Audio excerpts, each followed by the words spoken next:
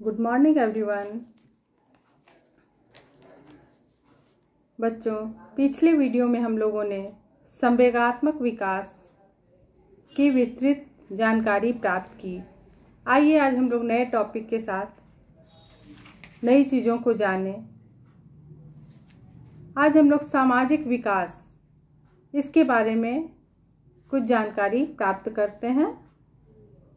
सामाजिक विकास जिसमें ज़ीरो से तीन वर्ष के शिशु का सामाजिक विकास किस प्रकार से होता है, इसकी जानकारी हम लोग प्राप्त करते हैं। क्या है, मनुष्य एक सामाजिक प्राणी है। वह हमेशा इस प्रकार का व्यवहार अपनाता है जिससे वह अपने आप को समाज के साथ जोड़ सके। उसके जीवन की संतुष्टि व सफलता इस बात पर निर्भर करती है कि वह समाज के साथ कितना सामंजस्य स्थापित कर सकता है। जन्म के बाद जैसे जैसे शिशु वातावरण के जन्म के बाद जैसे जैसे शिशु बढ़ता है, वातावरण के प्रति सजग होता है। वह सामाजिकता के गुणों का विका, गुणों का विकास करने लगता है। क्या है शिशु जो है, मनुष्य जो है एक सामाजिक प्राणी है, ये तो हम लोग जानते ही हैं, वो अकेले कभी भी नहीं रह सकता है। और जब नवजात शिशु जिस, जैसे जैसे बात बढ़ता है, जन्म के बाद जैसे जैसे उसका उसका विकास होता है, वो वातावरण से अपने आप को अपने आप में समायोजित होता जाता है। और समायोज समायोजित होता है और हम लोग देखते हैं कि सामाजिक विकास किसे कहते हैं? अपने व्यवहार को समाज के अपेक्षाओं के अनुरूप ढालने को ही सामाजिक विकास कहते हैं। और फिर है, जन्म के समय शिशु न तो सामाजिक होता है और न ही असामाजिक, बल्कि वह समाज के प्रति उदासीन होता है। उस, किसी तरह की कोई फीलिंग उसके अंदर नहीं होती है।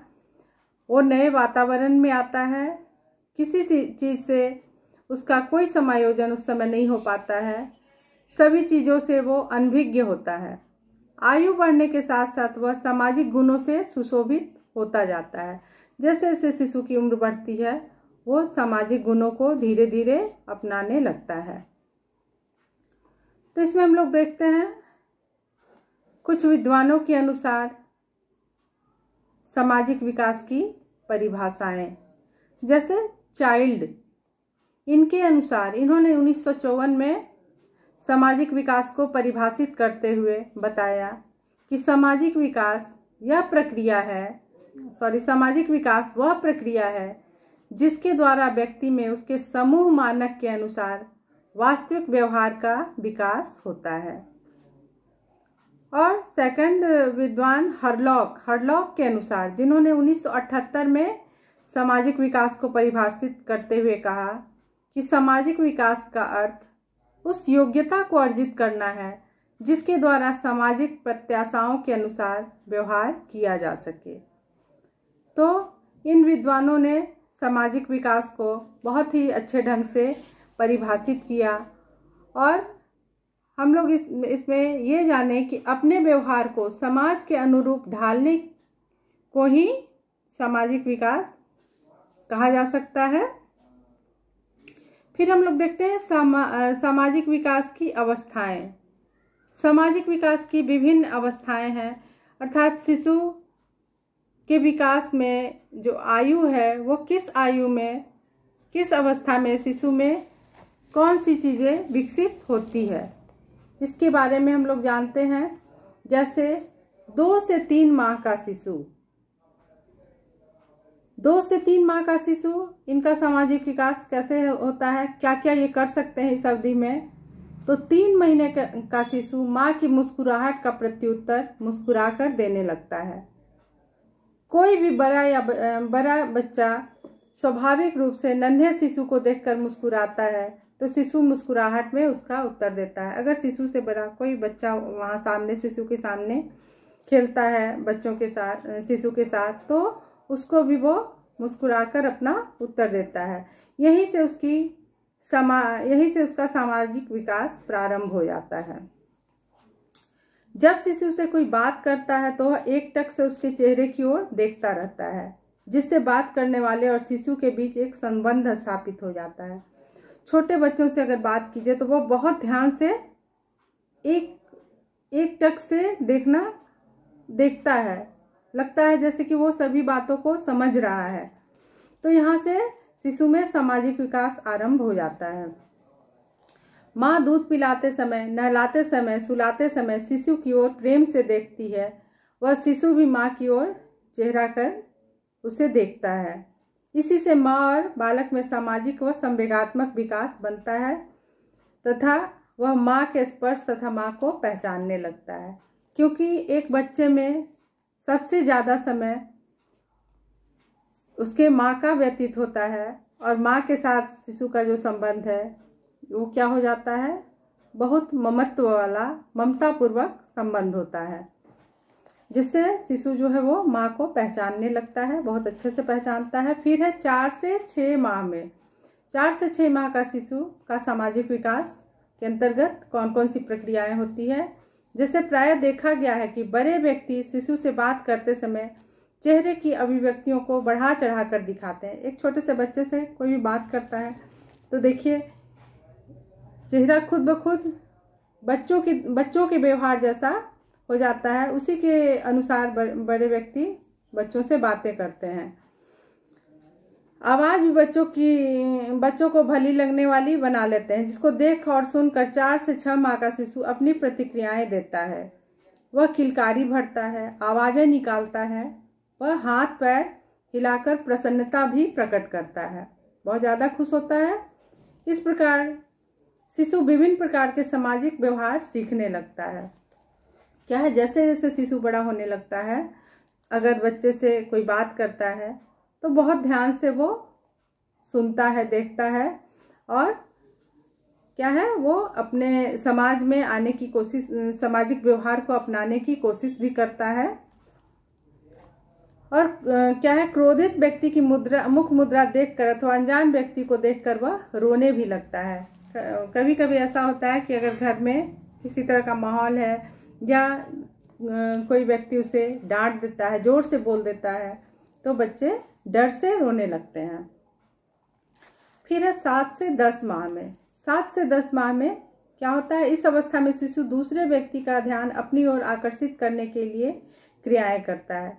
क्या है? बच्चे नहीं चाहते कि कोई व्यक्ति अगर है तो वो हमारी ओर ध्यान नहीं दे रहा है। वो अगर कोई उसके ऊपर ध्यान नहीं देता है तो अपनी ओर ध्यान आकर्षित करने के लिए वो तरह तरह की क्रियाएँ करने लगता है।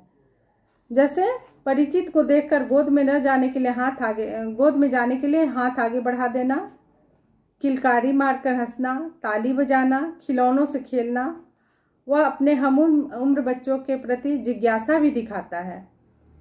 फिर है, वार्तालाप भी करता है। सात से दस माह का जो बच्चा है, वो इन सब क्रियाओं को करना आरंभ कर देता है।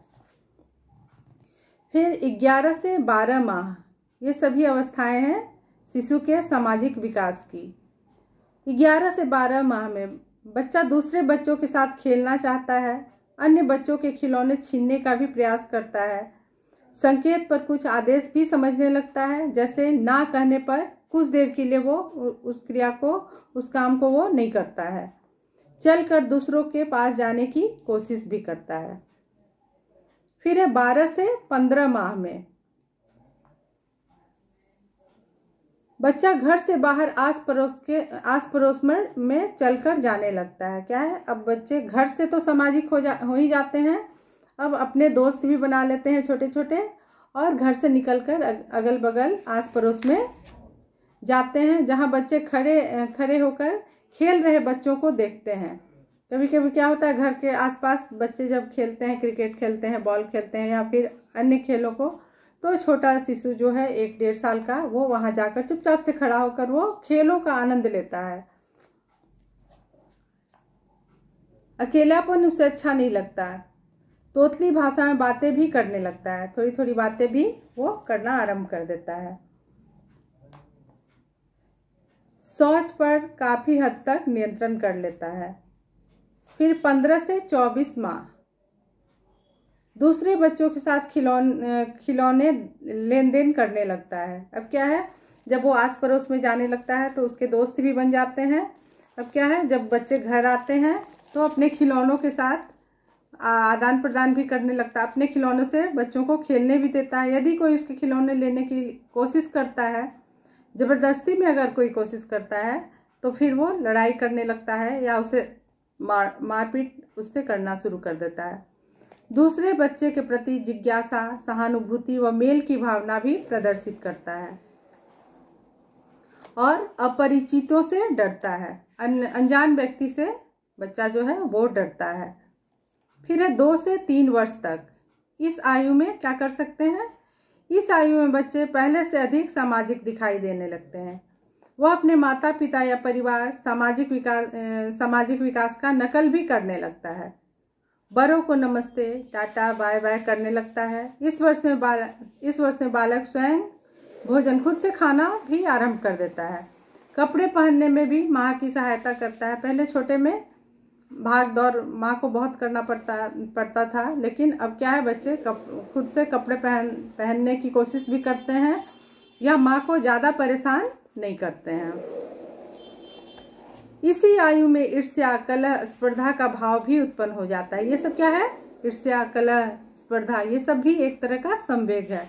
तो बच्चे में दो से तीन साल के उम्र में ये सब उत्पन्न हो जाता है। बालक अब स्कूल भी जाने लगता है, जिससे वह अपनी आयु के बच्चों के मध्य रहना भी सीख जाता है। इस समय बालक के खेल कूद के समूह बन जाते हैं। और ऐसे समूह में लिंग भेद नहीं होता है। बच्चे, सभी बच्चे मिलकर आपस में खेलते हैं। ऐसे बच्चों में लड़के लड़कियों का कोई भेदभाव नहीं होता है। सभी बच्चे हैं एक समान और एक साथ खेल, खेलते भी हैं। इस अवस्था में क्या है? स्वतंत्रता की भावना भी प्रबल हो जाती है। उसमें निषेधात्मक प्रवृत्ति पाई जाती है। निषेधात्मक का मतलब क्या हो गया? नकारात्मक, है ना? इस जिसके कारण क्या होता है बच्चा बहुत जा, बहुत ज़्यादा जिद्दी हो जाता है। किसी बात को कहने से ना कहना नहीं मानना ये सब चीज़ें आ जाती है। चार साल का बालक चार साल का बालक बड़ों की आज्ञा कुछ कुछ मानने लगता है ताकि वह प्रशंसा अनुमोदन तथा मान्यता प्राप्त कर सके।